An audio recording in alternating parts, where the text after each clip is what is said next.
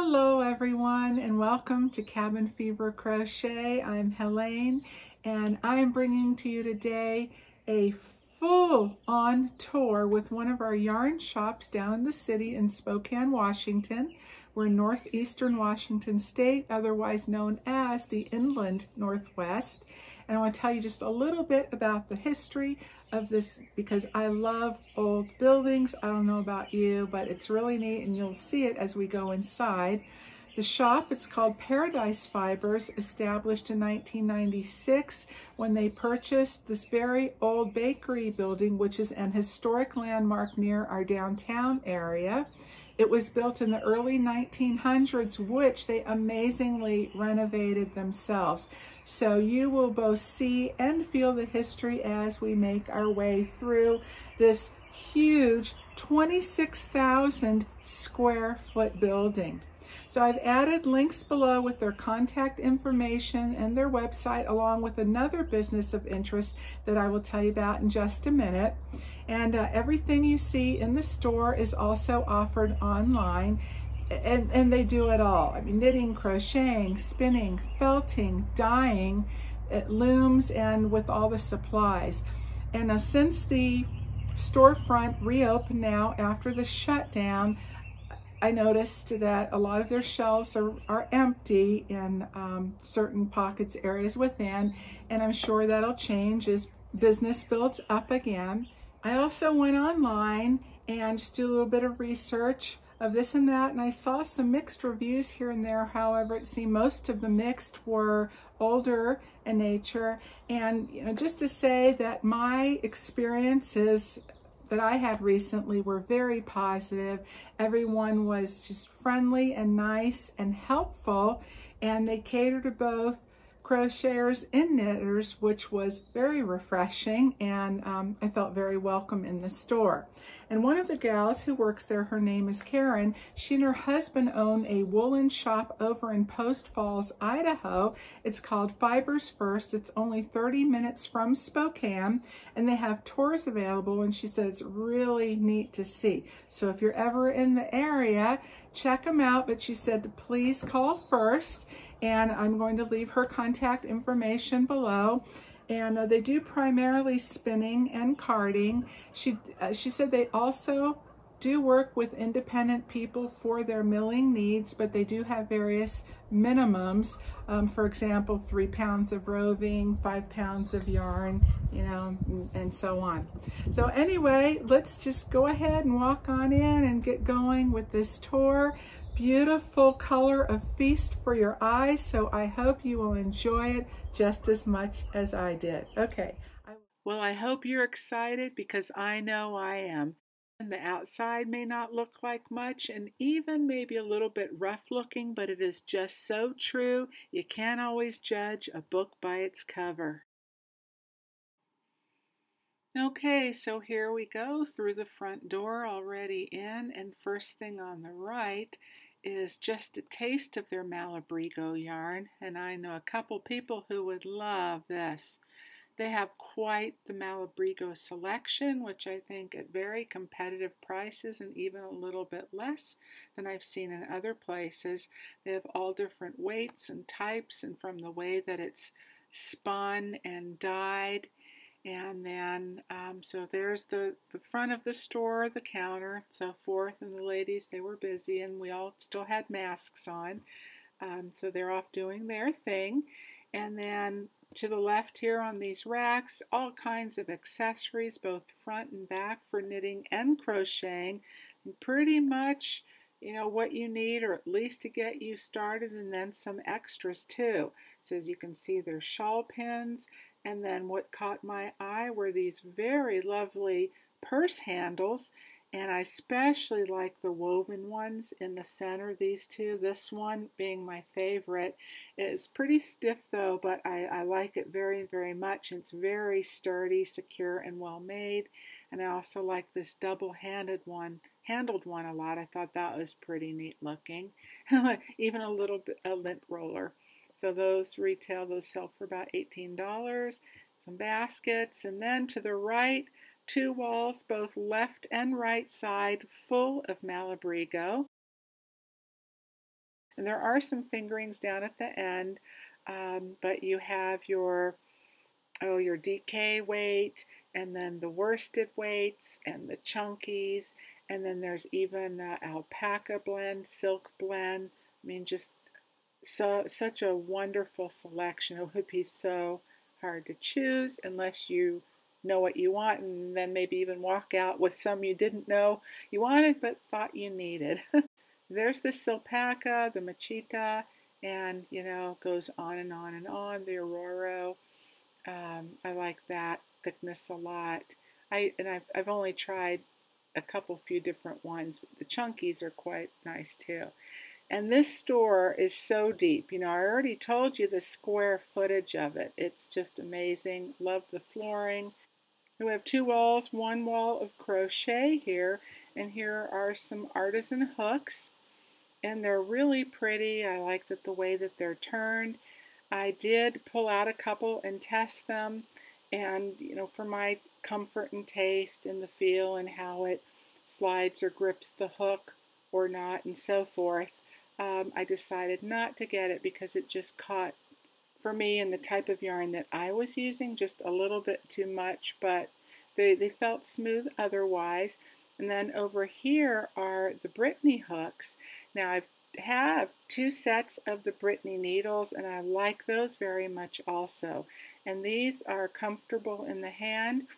Um, but again, for that type of yarn, I just um, slowed me down a bit too much and I had to adjust the angle of the my hand and the hook to really get it to go with the flow how I wanted. So I did not get those, but I think they could be quite lovely otherwise.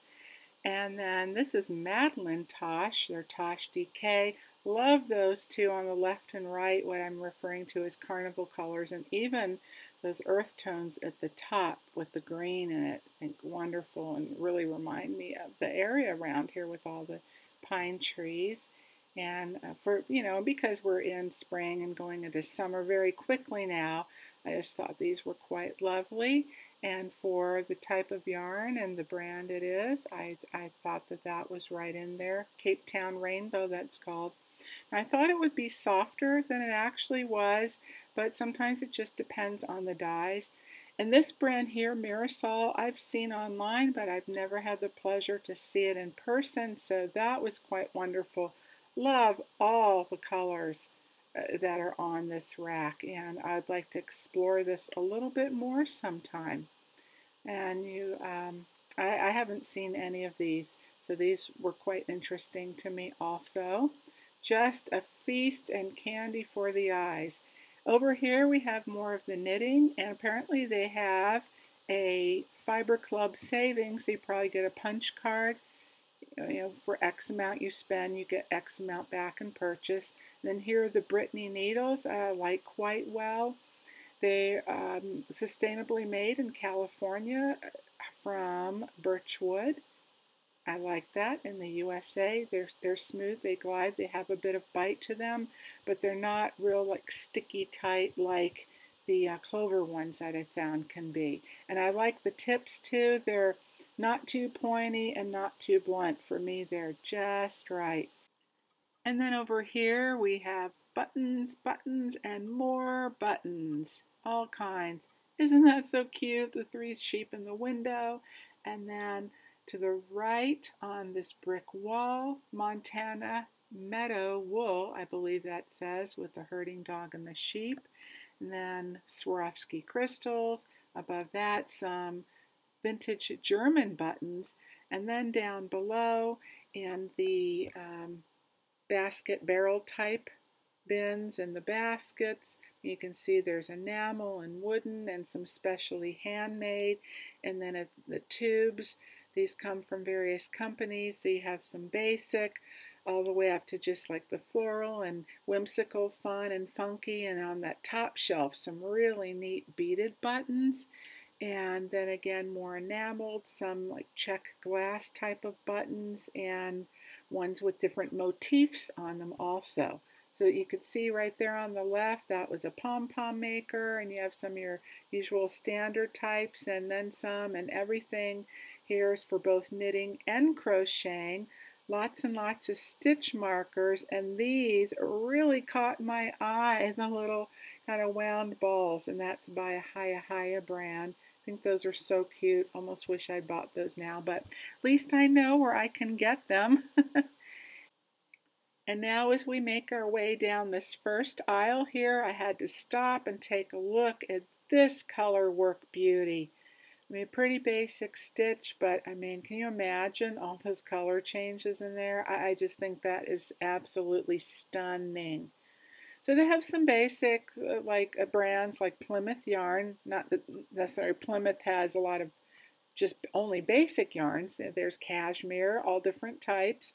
They used to have a lot more cascade. That's on the other side of the wall. And they do have a little bit, not like they used to, but they have just an incredible variety. And um, let's see, these caught my eye also. The speckles always do. To me, they're just so fun and lively. And then over to the right, I went, what's this? What's this? And I had to go check it out. I knew it was something special. And especially when I got up close, it just blew my mind. Art Yarns Beaded Silk Sequins. It's 100% silk with Murano glass beads, 50 grams. Okay, you ready for this? A 50 gram, 110 yards, $44.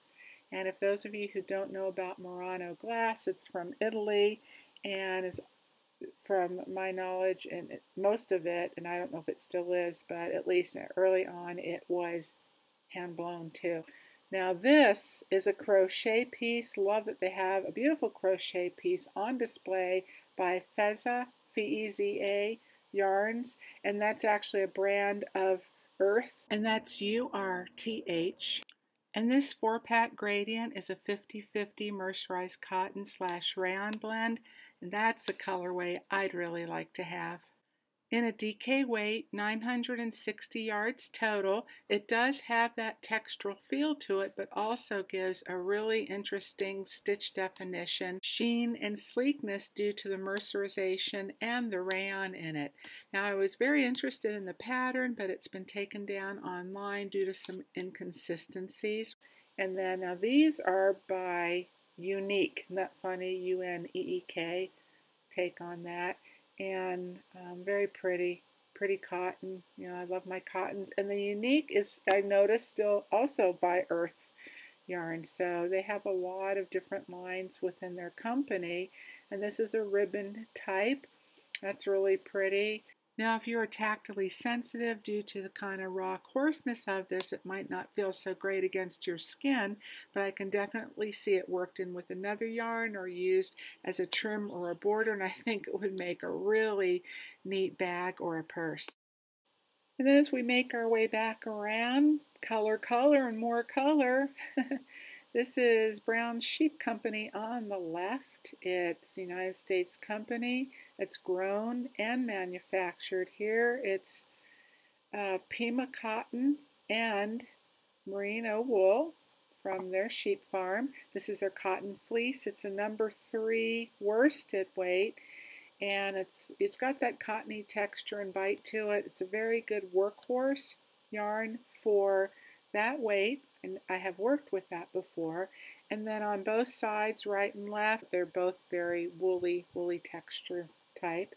And I also found this quite interesting, the original Dutch style window with another wall placed on the outside wall at some point in time, which I assume was for security measures. And then as you can see, they left the mortar as is and someone had just painted a little bit over the brick and just adds another unique element to this wonderful place. And as I rounded the corner, I was completely wowed as I had no idea they had such a selection of undyed yarn. They have a couple different brands, their in-house brand, and then this one of your natural wool and different types of fibers that take dye really well. This is 95% baby llama and 5% stellina a sport weight, And it's hard to really capture that sparkle on camera, especially the stellina, which resembles fibers and hairs and blends well and integrates very nicely and it's with the fibers and it's super soft. Picks it up just a little bit there. And so they have so many different types of again of fibers and thicknesses and how they're they're spun together. And this is by Plymouth. They're dye, D-Y-E for me. Haha, get it. And then here's another one with the stellina in it. And then an alpaca tencel and bamboo blend. Wow, 315 yards and a sport weight. And then merino cashmere. So all different, you know, types. This is a fingering and different price points as well. And then over to the right, oh, here, here, yeah, real quick first. These are soles for making slippers, along with crochet patterns for felted slippers and clogs. And then I'm going to flip to a page and it shows you one with the Ravelry number and the price on it, which I thought was another wonderful crocheted piece to display and to support the crochet community as well as the knit. And I'm not sure which these are, but it's nice that they have both. Really, really nice. And then at the very back end of this aisle, here are country classic dyes, and they transform wool, silk, nylon, and many other protein fibers into under or oversaturated creations. And it says in 30 minutes. So here's a swatch of all the different colors. And then around the corner on this other wall, we have Paradise Fibers. They're in-house brands. So again, we get into some very fine yarns, more of the uh, worsted type, different ways that they're spun.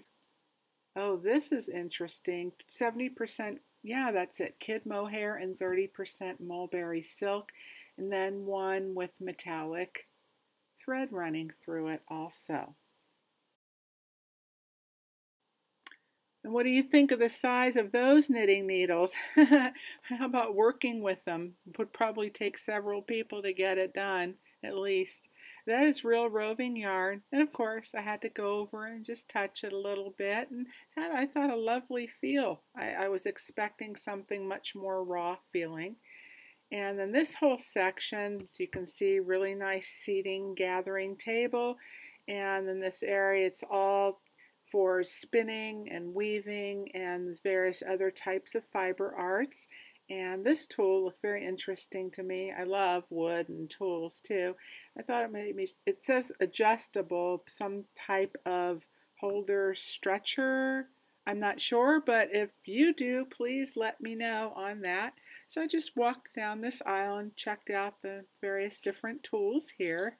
And then I looked up and gasped. I'm like, oh, what is this gorgeousness? I have to check it out. It is super fine merino, mulberry silk, rose fiber, and 10% I think it is faux cashmere. It's 16 ounces, so you get a whole pound of that. Absolutely beautiful with this subtle shimmer. And I, I, I just thought that was amazing. And this whole wall of color, color, color more color. Well, of course, it's a yarn shop, right? and then you've got the the fine wash for you know your different um, wools and different specialty fibers and little baskets and some are bottles and some are little packets that you can get just to give it a try. And then now we mosey on over back to the left here. You've got your ball winder and Yarn Swift, and that is a really nice one too. And then amazing five spinning wheels. And I'm not for certain on this, but I did read online somewhere that the co-owner here, he makes some of these. So next time I, I'll pop in and have to ask. I just thought what a lovely place to sit and spin and practice and learn the craft. And in the wintertime, got a nice fireplace there to get all cozy. And um, then on this back wall, there is type of thread, these really big cones of it. and it says uh, it's Super Lamb 4 slash 8, 1120 yards. And this one, Louet Euroflax wet spun linen sport, so different types of fibers. And then back in here you have all these spools. I've never seen spools that big. have you? They remind me of big old ocean fishing reels. they just have everything in here, really. And then there is more back here and there's even a plastic loom, so why not, right? So I kept going and peeked around the corner, and there's actually an arrow, and it says up the ramp in Fiberland. I didn't go all the way back, though. It was starting to get late, and they're getting ready to close.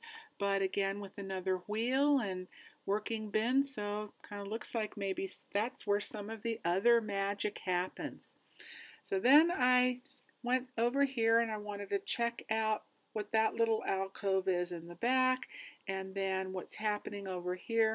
Oh, something else magical caught my eye with the hand spindles and again handcrafted wood. Wow, Love that. That to me, that is just a work of art and a beauty unto itself. And there's several different types of the, the wood that's put together in different patterns. There you've got the, the checkerboard style and some more just the smooth, natural stained tones of the wood. And that looks like that's their in-house brand as well and um, so many interesting things. I'm trying to take it all in. I'm sure I didn't even see everything that's there. And then these caught my eye too, and I thought, absolutely stunning. The, the coloration and the effects. And then I went, wait a minute, is that Malabrigo? I didn't do, know they did roving yarn, and sure enough, that's Piedras. That is, you know, their signature looking labels and I turn it over and yes indeed. So that would be inspiring right there. I mean that's enough to to kind of you know whet my appetite on um, wanting to possibly try something like that one day for fun. And then again, Paradise Fibers, they have already put together coordinating color packets and there you've got your whole rainbow assortment. And um, so it's already kind of thought out and planned for you, which I thought was quite nice. And then up that ramp inside here is a wonderful resource library, except that brick wall makes me a little bit nervous.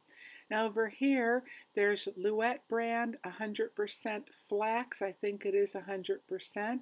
And then there's merino wool. Just so, so many interesting brands and different types of fibers all throughout the store. Then on the left-hand side, there's Debbie Bliss.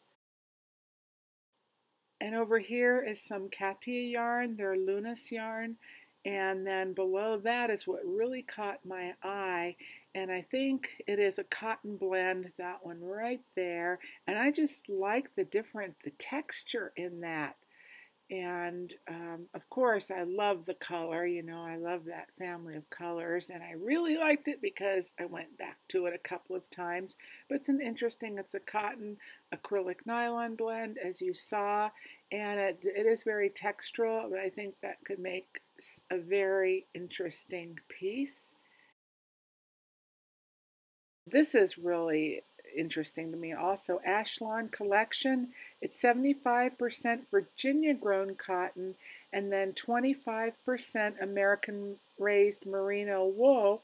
So you have part from Virginia and part from ranchers in Wyoming. It's a sheep and wool company and it's made in Augusta Springs, Virginia, where the two have kind of, I guess, collaborated into one yarn. So um, that caught my eye, and I was really happy to see unique yarns from our country also.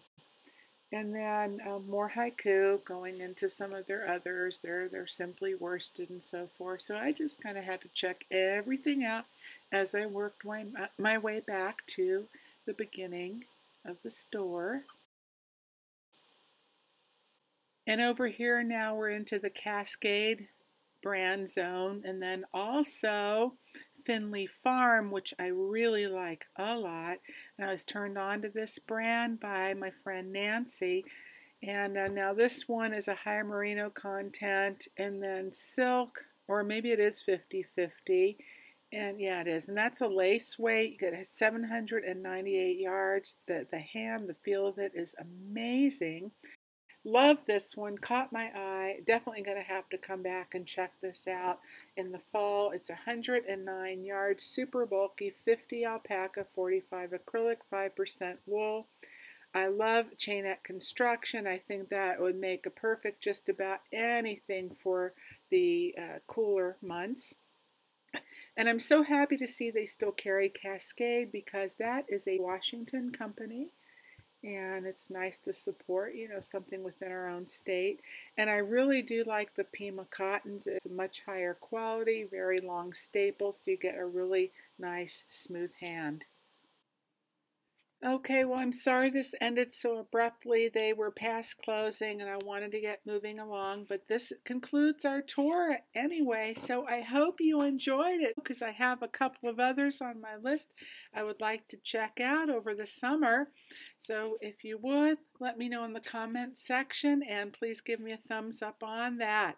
Okay, well, take care, everyone, and I'll see you again soon. Thanks so much for coming along with me. It was a lot of fun.